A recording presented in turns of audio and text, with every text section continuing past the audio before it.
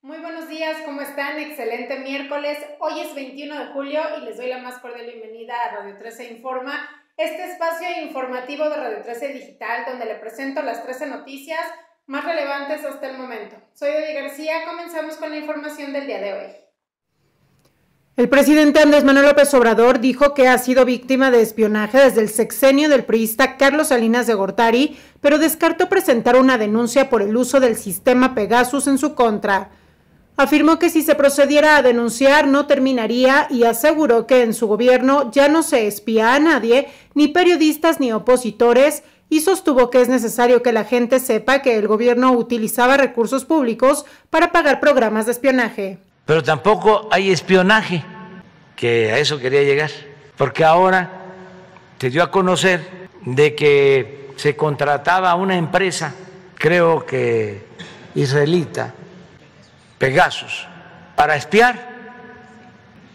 Y yo quiero que lo sepa todo el pueblo, que se destinaba dinero del presupuesto para contratar servicios de espionaje y se espiaba a todos los dirigentes de oposición.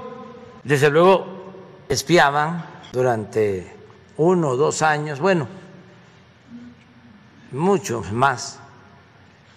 Pero ahora se da a conocer que también espiaban a mi esposa, a mis hijos, bueno, hasta al médico que me atiende sobre este tema, la jefa de gobierno de la Ciudad de México, Claudia Sheinbaum, fue cuestionada sobre el caso Pegasus, a lo cual comentó que el viejo régimen se dedicaba a espiar a todos aquellos que fueran de oposición desde hace muchos años, pero en particular el último gobierno, a veces con información correcta, otras no necesariamente. Sheinbaum mencionó que algunas personas que trabajan en la administración anterior le dijeron que le estaban espiando y que debía de tener cuidado. El viejo régimen se dedicaba a espiar a todos aquellos que fuéramos de oposición desde hace muchísimos años, pero en particular el último gobierno. San Martí también estaba ahí, muchos. Eh, Martí era en su momento presidente nacional de Morena, después de la ciudad, y muchos estábamos espiados desde hace mucho tiempo. Y y muestra pues lo que, lo que tenían entonces en mente ya que dedicaban los recursos públicos. Hoy los recursos públicos se dedican para beneficio del pueblo, de la gente, no para espiar a la oposición. Con 25 votos a favor, 3 en contra y una abstención, el Congreso Local de Veracruz aprobó en lo general y en lo particular la iniciativa para despenalizar el aborto hasta la doceava semana de gestación convirtiéndose en la cuarta entidad en aprobar esta reforma a nivel nacional. La iniciativa de la diputada local Mónica Robles Barajas fue aprobada el día de ayer tras su discusión en el Congreso luego de que la bancada de Morena avalara la propuesta por mayoría legislativa. En este estado el aborto solo será legal por cinco causales, cuando es producto de una violación, cuando es imprudencial, hay peligro de muerte, malformaciones o fue concebido por inseminación artificial no consentida. El periodista Abraham Mendoza Mendoza fue asesinado la tarde de ayer en la ciudad de Morelia y los primeros reportes indican que el homicidio del comunicador ocurrió minutos antes de las 2 de la tarde sobre la avenida Madero, poniente de la capital michoacana. El informe señala que al parecer tres sujetos armados dispararon en su contra cuando salían del gimnasio. El periodista murió en el lugar y una persona más resultó lesionada. La Fiscalía de Michoacán señaló que detuvo a tres sujetos presuntamente involucrados en el hecho criminal, quienes viajaban a bordo de un automóvil con reporte de robo. Elementos de la Secretaría de Seguridad Pública de Veracruz rescataron a 59 migrantes en un motel de Minatitlán y detuvieron a dos personas traficantes de personas. La Policía Estatal resguardó a 59 migrantes procedentes de Honduras, Nicaragua y El Salvador, entre ellos 23 menores de edad. Una llamada al número de emergencias alertó a los policías sobre la presencia de migrantes en un motel que se encuentra ubicado en la avenida Instituto Tecnológico Colonia Infonavit. Los migrantes recibieron alimentos y valoración médica, luego de ello fueron trasladados a una estación del Instituto Nacional de Migración donde se revisará su situación en el país. dio inicio de manera oficial la construcción de lo que será un nuevo parque para la Ciudad de México. Con el nombre de Aztlán será el nuevo espacio urbano que sustituirá a la Feria de Chapultepec. La jefa de gobierno Claudia Sheinbaum aseguró que la nueva obra estará disponible para el público en 2023 y será uno de los mejores parques urbanos de América Latina. La inversión para construir el parque en las seis hectáreas de terreno que ocupaba la feria es de 3.639 millones de pesos. Su apertura se realizará gradualmente. En noviembre abrirá por primera vez con la ofrenda de Día de Muertos del Museo Dolores Olmedo y posteriormente en 2022 tendrá acceso al Museo Mexicano de Inmersión y a finales de ese mismo año abrirán los Juegos Mecánicos. Y en temas de COVID-19, el subsecretario para Prevención y Promoción de la Salud, Hugo López Gatel, dice que no hay vacunas perdidas en México como lo han afirmado algunos medios. Vamos a esta información y más.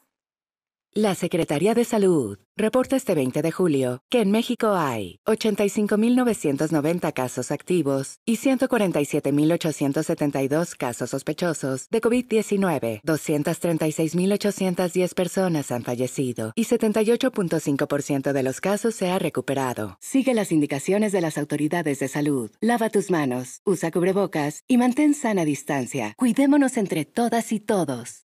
Secretaría de Salud. Hugo López Gatel, subsecretario de Salud, dejó en claro que el gobierno federal no tiene vacunas anti-COVID perdidas y calificó estas informaciones en medios de comunicación como una calumnia y totalmente sin fundamento. Este martes, en la conferencia matutina, López Gatel aseguró que todas las vacunas que llegan del extranjero y que son fabricadas en el país están contabilizadas por completo. Este martes se informó que en México ya suman 74.731.115 dosis recibidas y envasadas en el país, aunque se han aplicado un total de 55.107.724 dosis, lo que representa un desfase en la información. Cuando los segmentos de edad eran más pequeños, eso más o menos iba transcurriendo y teníamos una brecha entre vacunas llegadas y vacunas registradas aplicadas de aproximadamente dos, luego tres, luego cinco millones de dosis. Hoy que son segmentos poblacionales más grandes y que tenemos muchos más millones por semana, la brecha ya es de cerca de 19 y medio millones de dosis, pero es una brecha de registro. Y finalmente, hay un tránsito de las vacunas, no llegan mágicamente del aeropuerto al puesto de vacunación. Entonces, en resumen, no hay ninguna vacuna perdida. Este eh, tipo de calumnia, de difamación, no sé qué propósitos tenga, evidentemente no muy nobles. Y este martes comenzó la vacunación de la primera dosis contra COVID-19 a personas mayores de 30 años y personas rezagadas en las alcaldías Tláhuac, Miguel Hidalgo, Azcapotzalco, Benito Juárez, Coyoacán, Gustavo Amadero, Venustiano Carranza, Álvaro Obregón y Tlalpan. En tanto, las personas de 39 años o más que no han recibido su primera dosis de la vacuna contra el COVID-19 podrán hacerlo en cualquier centro de vacunación de la Ciudad de México sin importar su residencia. En ocho de las alcaldías se aplicará la vacuna rusa Sputnik 5 y solo se destinará la vacuna AstraZeneca en Tlalpan. La rectora de la Universidad Autónoma de Querétaro, Teresa García Gasca, indicó que la vacuna anti-COVID Kivax ha respondido bien contra las variantes detectadas hasta el día de hoy, incluida la Delta. Indicó que continúan las investigaciones para realizar mejoras al inmunizante, pues se prevé que la próxima semana se firme un convenio con una farmacéutica y así se complemente la última etapa del proceso de la vacuna Kivax.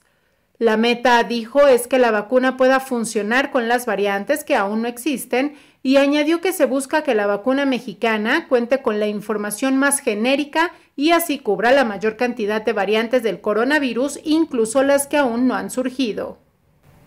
Y los llamados Dreamers alzan la voz contra el freno del programa DACA y piden la ciudadanía. Vamos a la información de internacionales y del mundo.